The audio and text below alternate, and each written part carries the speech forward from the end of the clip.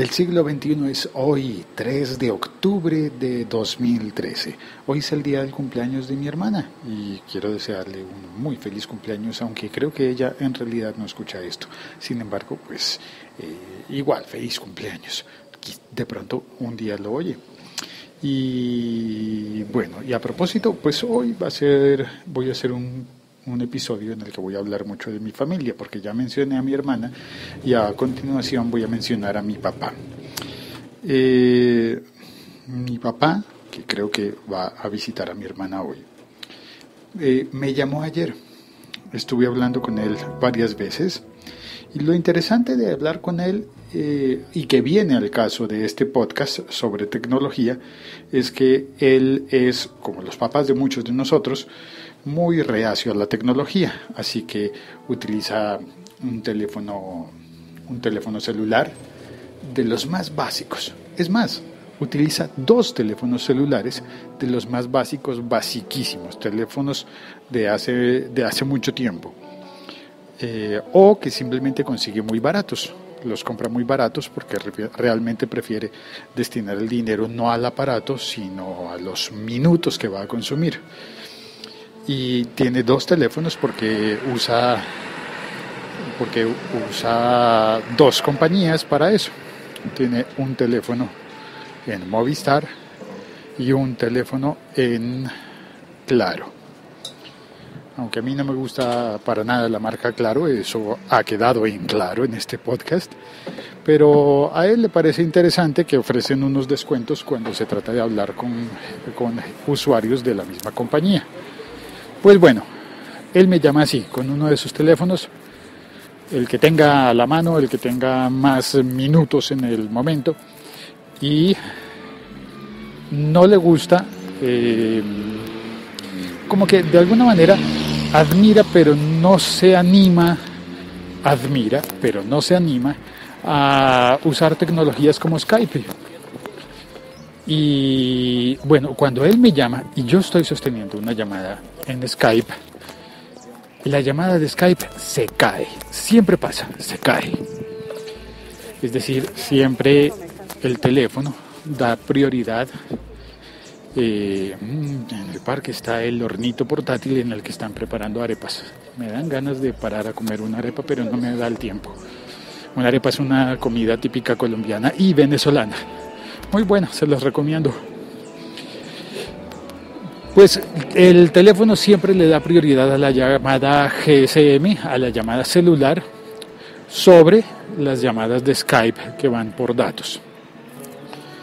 Yo no sé si a ustedes les ha pasado, pero ocurre con mucha frecuencia. Entra la llamada celular y tumba todo alrededor. Si uno está grabando para, para Spreaker, para un podcast, pues se cae el podcast porque entró la llamada. Si uno tiene una conversación Skype, se cae la conversación. La llamada entra con prioridad sobre todo.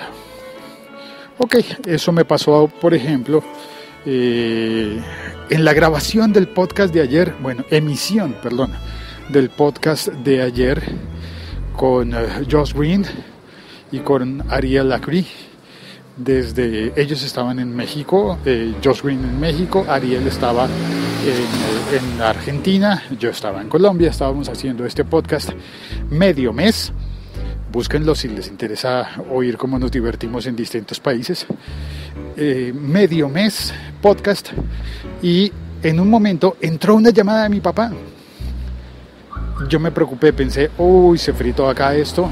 Estaba, el control master lo estaba llevando Josh Green eh, en, México y pensé, le tocó a Josh Green seguir un rato solo, porque yo estaba haciendo la conexión con, con, Argentina. Y eh, mi grata sorpresa es que eh, rechacé la llamada de mi papá. No se preocupen, después lo llamé y hablé con él más adelante. Pero rechacé la llamada de él y por suerte con el nuevo sistema operativo iOS 7 eh, la llamada no se cayó, solamente se puso en pausa.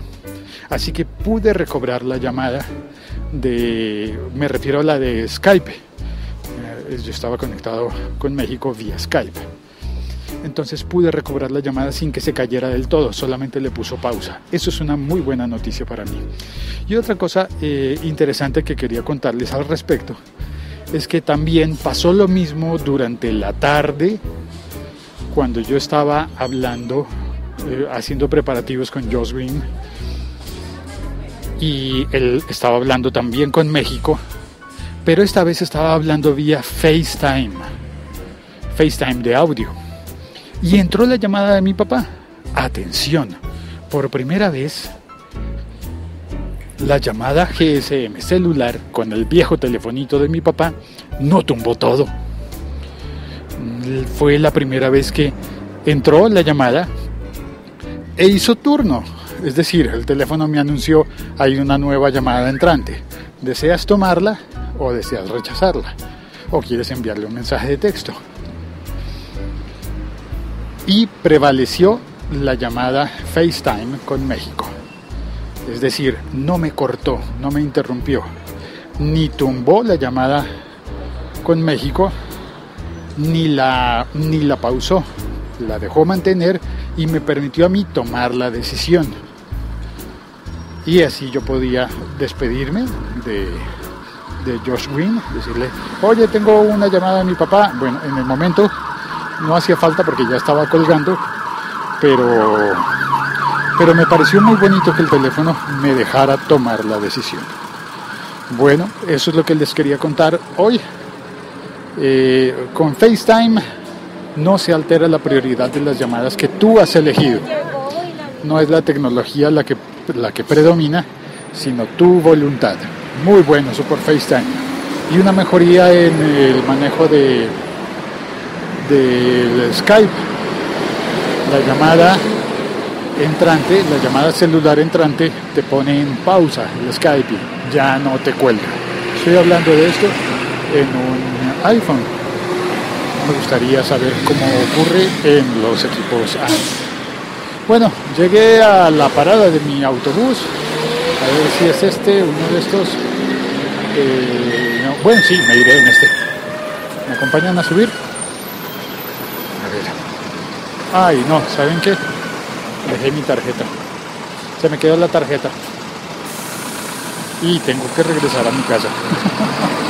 Oh, debo regresar a mi casa.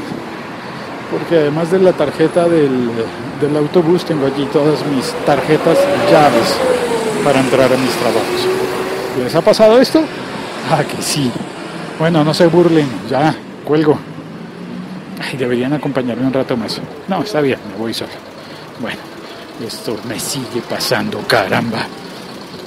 No importa el tiempo que... No importa el año, no aprendo, no importa lo viejo que estoy, me sigue pasando. Ah, y eso que el siglo XXI es hoy. El siglo XXI es hoy.